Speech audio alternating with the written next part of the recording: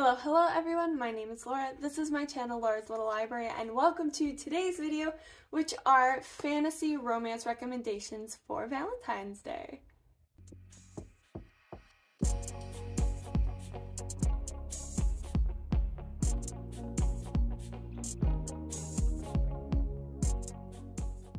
So recently I have been reading and loving so many really good fantasy books with either strong romance subplots or that are romantasy, fantasy, and romance together. And I thought I would recommend some of them for you in case you also love this genre and are looking for some recommendations for this upcoming Valentine's Day. If you are also a fan of contemporary, specifically baking themes, contemporary romance, I did recently post a video with those types of recommendations, so I encourage you to subscribe and hit the bell, and then you can go back and watch that video as well. But let's jump right into the video. So, the first book I have to recommend is one that you've probably heard of because so many people have been talking about it. But I recently read this entire trilogy and definitely think that if you haven't read this, you really need to. So, I'm going to recommend it, even though I'm sure you already know everything about it Kingdom of the Wicked by Kerri Maniscalco.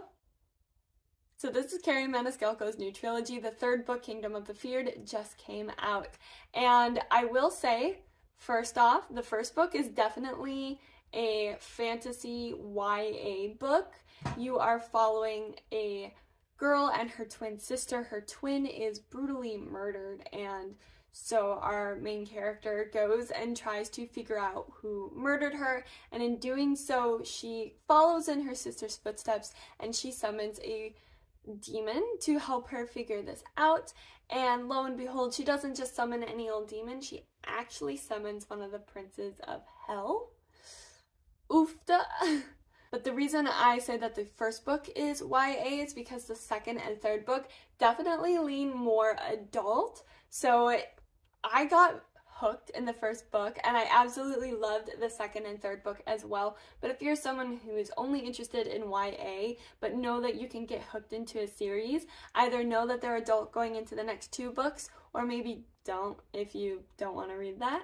But if you think that sounds interesting, I highly recommend because I, like everyone else, have read and loved this book and I'm telling you if it even sounds remotely interesting, please pick it up because the chemistry between the characters is just amazing. The hate to love, the backdrop of a murder mystery, it all it all comes together so well and each book just keeps getting bigger and better than the last.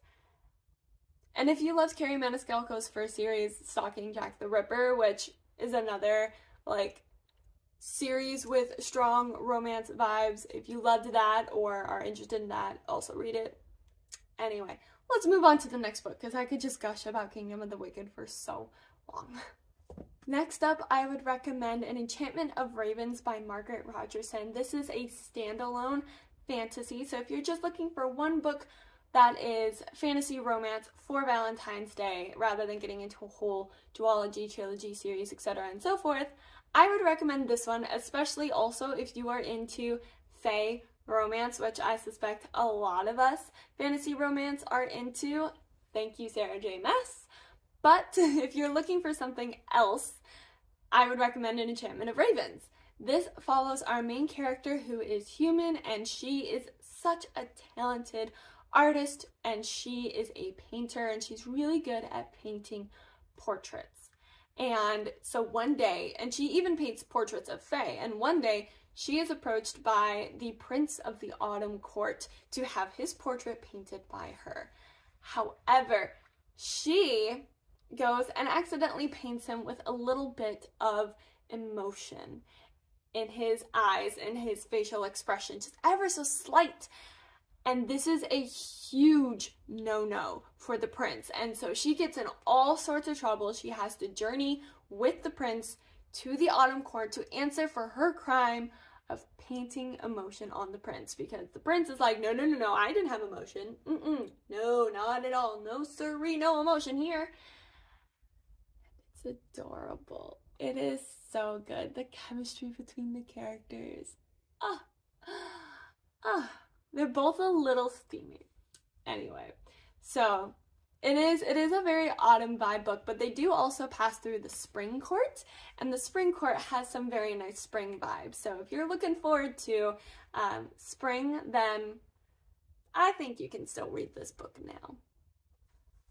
Moving on, I recommend This Vicious Grace by Emily Fee. This is like an Italian fantasy inspired romance. You have the idea of you're set in Italy, but kind of in this world similar to ours, but not actually ours. And you have your goddess who is the good and wonderful, pray to the goddess, and you have this terrible god and they're kind of constantly at war with each other.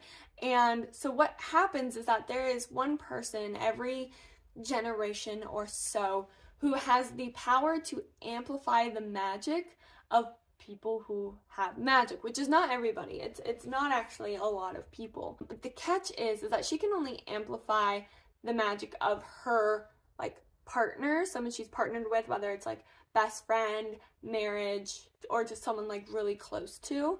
Um, everyone else she touches, she actually kills them. And so the reason why the goddess gifted the earth with this kind of amplifier person is because the evil god sends this huge army of disgusting creatures every so often to try and wipe out the humans. Rude. So they have to prepare to fight this army of disgusting things. And the amplifier is like the only person who can really have enough power to win that war every like generation, 10 years or so whatever. Um, however, the main character that we are following, she is this like amplifier source. She is, as they say, the Finestra. And she has killed three people trying to find her partner to help her defeat these creatures. So things are not going well for her, and people are starting to doubt her, and they are starting to question whether she was sent by the goddess or maybe she is a tool for evil. And she's just like, I am so alone and I want to save my people. And it's just, oh. So she gets a bodyguard. A very handsome bodyguard. I have to say, they this book probably has my favorite lead up of romance out of all of these recommendations. So if you're there for like the pining and the no, I don't love him, he's just my bodyguard, blah, blah, blah. This would definitely be the book for you. I will say this is the first book in a duology, and the second book is coming out later in 2023, so you will have to wait to get the next book, and it does have quite an interesting ending. So just be known about that if you're someone who's kind of like hesitant about starting a series or duology without having all the books out.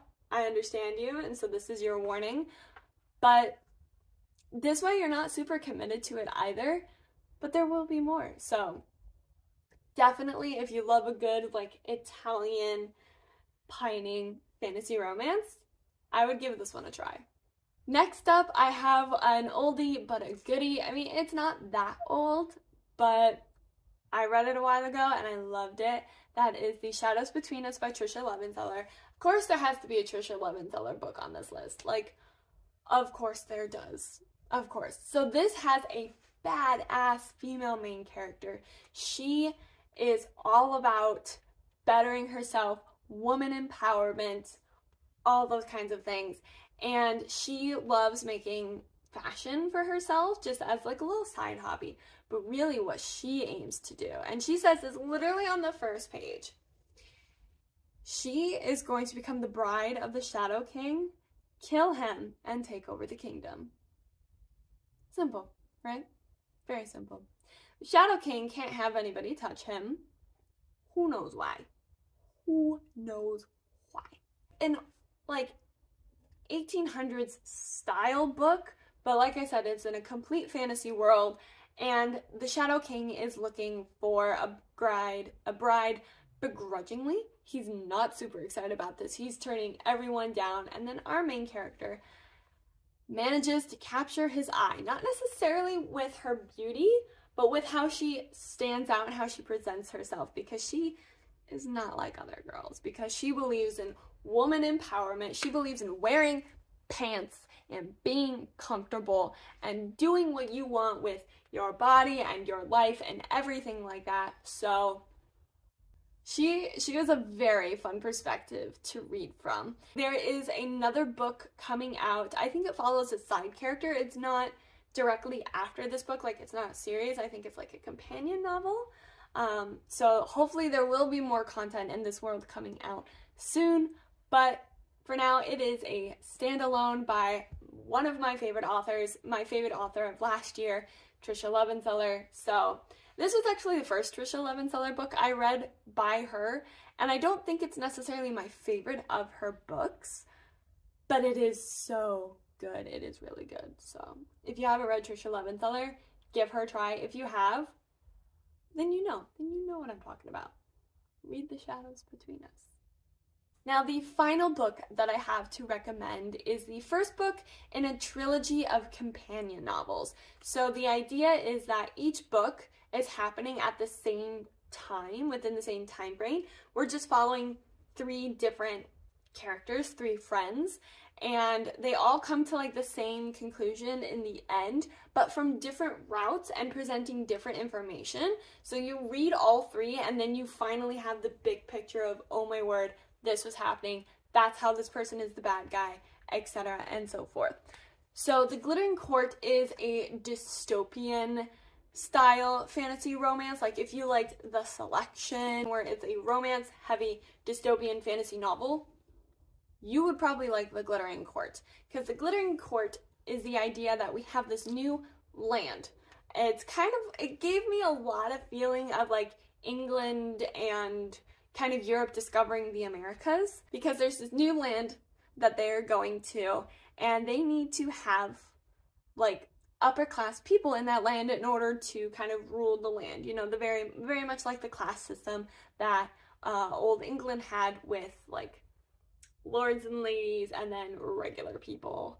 So the idea is that they take people of lower class the the glittering court the company that runs this takes these women from lower class, teaches them how to be proper ladies, and then tries to get them married to rich men and men of an upper class in this new world because these men need wives, obviously, and they need ladies who are wives, who know what they're doing, who can run a household, who can do who can like order servants around, etc., and so forth. And so in the first book, The Glittering Court, you are following our main character who secretly actually is an upper class lady, but she was getting matched to marry like her distant cousin or something, and she was not thrilled with that idea. So she pretends to be a woman of lower class to get into the Glittering Court to have a better match. Because in the Glittering Court, you do actually have very little say into who you marry. If you have multiple men who want to marry you, you do get to choose and it's not chosen for you. And so she believes that with her actual experience of being an upper class woman, she will have lots of prospects of marriages and that she will actually get to choose a decent husband for herself. And then she falls in love and it's so sweet and it really is kind of like gold rush at near the second half of the book, like it does kind of have a halfway through turnaround in the book when she does fall in love with someone, so I will say that. And I, I would suggest starting with this one for two reasons. A, because I think it has the most in depth um, explanation of the world and the glittering court and everything that happens there because it was the first book out in the kind of companion trilogy, but also B because it is the one that focuses on the romance the most. It is the most romantic of the three books, and so for Valentine's Day, if you're looking for fantasy romance, I would start here with this book, and then if you like it, I would read The Emerald Sea and The Midnight Jewel, which are the other books in the series. Those aren't super uh, romance based, but kind of really dive into the plot and everything happening behind the scenes of the Glittering Court. So that's why I think you should read the Glittering Court first. Okay, so those are the five fantasy romance books that I have to recommend to you for this coming Valentine's Day. Let me know down below what you plan on reading if you've read any of these, what your thoughts on them were. I would love to chat with you down in the comments below. While you're down there, give this video a thumbs up if you liked it. Also, feel free to hit the subscribe button and tap the bell so that you're notified when I post videos. Hopefully, I will go back to my regular posting schedule of Sundays and Wednesdays soon, but because I am in a new place, things have been a little hectic, but I am still trying to, I am reading a lot and I have lots of video ideas. So I will be filming those, editing them, getting them out as soon as I can. So hit the bell to be notified when a video goes up. Otherwise, I also do have bookish social media linked down below in the description so you can follow me there on those social medias to see what I am reading and keep up with me there. But until I see you all in the next video, I wish you happy reading.